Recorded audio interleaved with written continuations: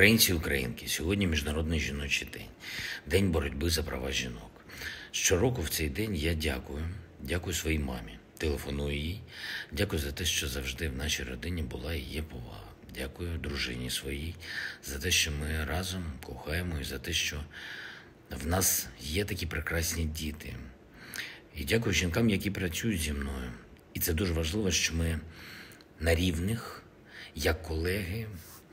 І сьогодні можна сказати різні слова, звернути увагу на різні аспекти цього дня. Кожна, кожна має свою думку, як, що робити в цей день, 8 березня. І в цьому наша сила, в цьому є свобода.